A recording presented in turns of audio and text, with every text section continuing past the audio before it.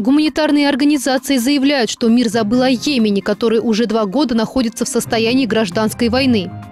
Жители мексиканских штатов Пуэбло и Веракрус восстанавливаются после оползней. 40 человек погибло, тысячи лишились крова. Китайский экспорт и импорт в июле сократились больше, чем ожидалось. Это свидетельствует о дальнейшем ослаблении мирового спроса и связано с решением Великобритании выйти из ЕС. В Японии состоялась церемония, посвященная памяти жертв атомной бомбардировки Нагасаки. Трагедия произошла ровно 71 год назад. Авиакомпания «Дельта» постепенно восстанавливает работу в аэропортах США после сбоя в своей компьютерной системе. Он произошел из-за отключения электричества в городе Атланте и привел к отмене сотен рейсов.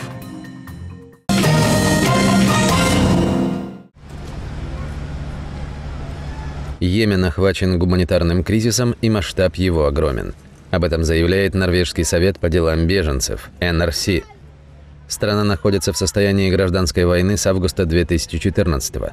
А в марте прошлого года во внутренний конфликт вмешались арабские страны во главе с Саудовской Аравией. Мир забыл, что кризис в Йемене продолжается, и это длится уже 500 дней.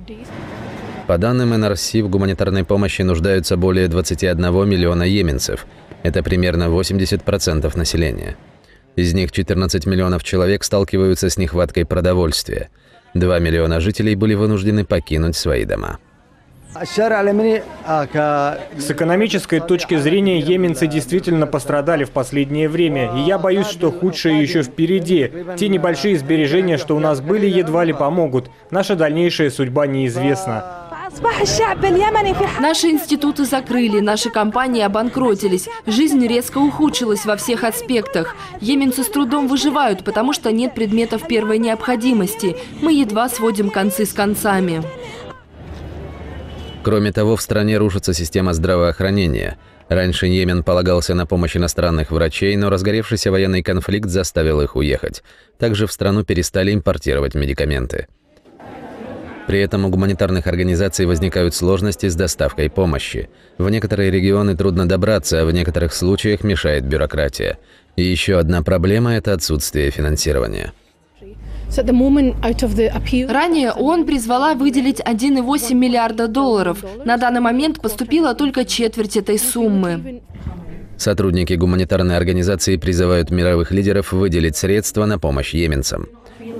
По данным ООН, в ходе вооруженного конфликта в Йемене были убиты 6400 человек, половина из них – мирные жители. В минувшие выходные в Кувейте начались мирные переговоры по Йемену при поддержке ООН. Однако повстанцы-хуситы и правительственные силы не смогли прийти к соглашению. Представители Норвежского совета по делам беженцев говорят, конфликт в Йемене не утихает, и гуманитарные организации не могут обеспечить йеменцев даже самым необходимым.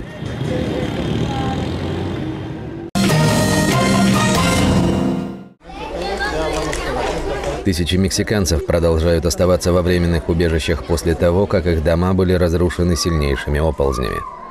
Стихия ударила по западным штатам Пуэбло и Веракрус. Не менее 40 человек погибли. Этот житель Пуэбло потерял шестерых родственников, включая двух дочерей.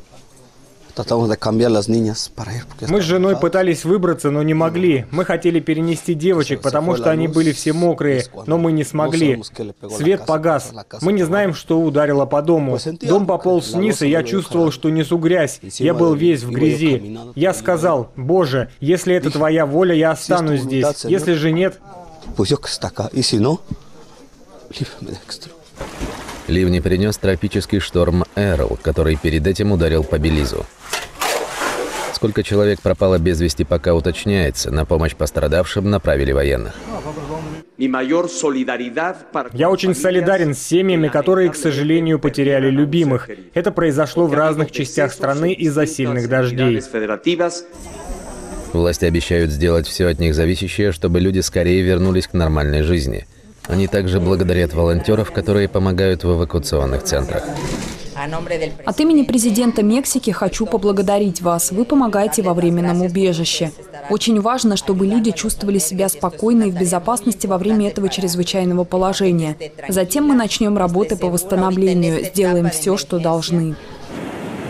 Тем временем на Мексику надвигается еще один тропический шторм – Хавьер. Скорость ветра близка к урагану. Хавьер угрожает западному побережью страны и Южной Калифорнии.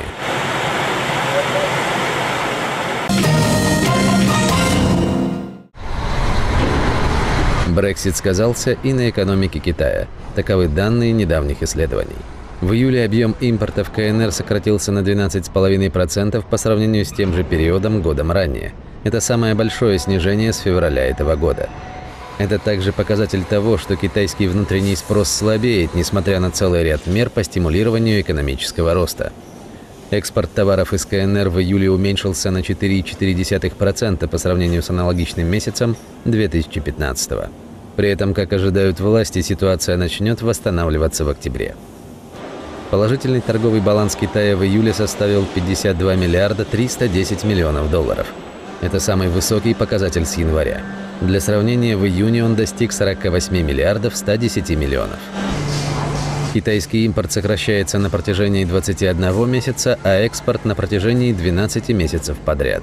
Это привело к рекордному снижению темпов экономического роста. Во втором квартале этого года он был самым медленным за 25 лет. Экономисты, опрошенные информагентством Рейтер, ожидают, что торговля в КНР будет оставаться слабой, но продемонстрирует некоторые признаки восстановления.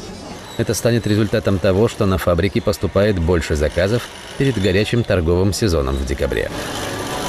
Кроме того, Китай продолжает бить рекорды по экспорту стали и нефтепродуктов – Недавно в связи с этим Пекин попал под шквал критики со стороны своих торговых партнеров. Они обвинили его в демпинге цен на мировом рынке за счет перепроизводства. Я думаю, это признак того, что слабеет мировая экономика, а также внутренняя китайская экономика не такая сильная, какой должна быть. Теперь мы должны понять, что произойдет дальше. Китайский экспорт в Европу в июле немного стабилизировался по сравнению с месяцем ранее. Однако экономисты по-прежнему уверены, что в ближайшие месяцы Brexit будет оказывать негативное влияние на эти поставки.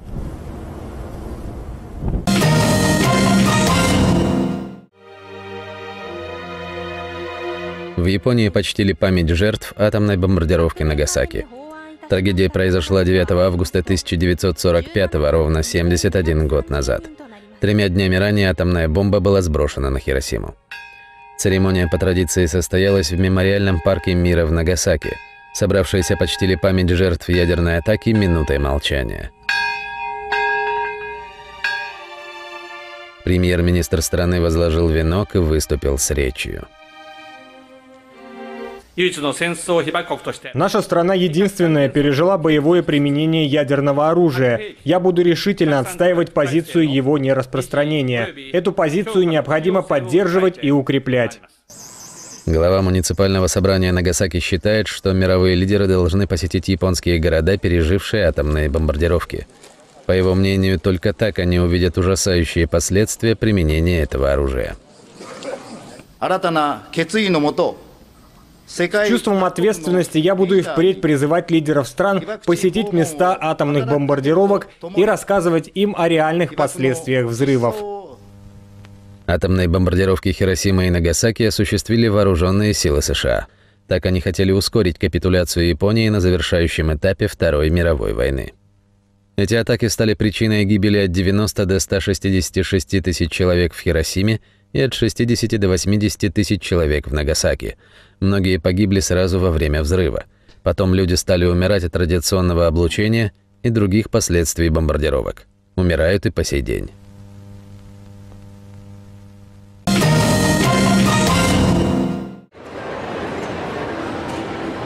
Очереди стали меньше, а пассажиры начали прибывать в терминал авиакомпании Delta Airlines в нью-йоркский аэропорт Лагуардия. Ранее в понедельник авиаперевозчик «Дельта» с главным офисом в Атланте был вынужден отменить около тысячи рейсов по всему миру. Еще несколько сотен были задержаны. Это произошло из-за сбоя в компьютерной системе компании, которая является второй по объему пассажиропотока в США. Неполадки были вызваны отключением электричества в Атланте. Электроэнергетическая компания Georgia Power сообщила, что из строя частично вышло оборудование «Дельта», что привело к тому, что компьютерная система перевозчика была обесточена. Пассажирам «Дельта», которые приобрели билеты на вылеты в период с 8 по 12 августа, сообщили, что им возместят стоимость перелета в случае отмены или значительной задержки рейса. Кроме того, им пообещали ваучеры на сумму в 200 долларов США, которые можно будет потратить на приобретение билетов на рейсы «Дельта» в любом направлении. Во вторник утром ожидаются дальнейшие отмены и задержки, однако компания постепенно возвращается к нормальному режиму работы. Пассажиры не могут поверить, что такая крупная авиакомпания могла отменить столько рейсов просто из-за отключения света. Um, Сейчас мы просто ждем. Наш координатор пытается узнать, сможем ли мы вылететь раньше. Мы опаздываем на стыковочный рейс. я не уверена, что у них есть более поздние рейсы до Гаити. Многие из нас просто ждут, общаются. Хорошо, что здесь нас аж 15 человек. Мы можем коротать время вместе. Ну, конечно, мы с нетерпением ждем, когда все закончится.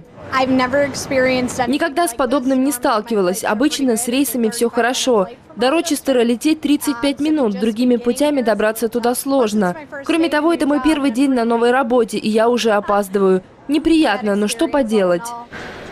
Дельта не единственная авиакомпания, которая в последние годы столкнулась с масштабными сбоями в компьютерной системе. Так, в сентябре прошлого года компания American Airlines была вынуждена задержать рейсы из трех аэропортов после технического сбоя.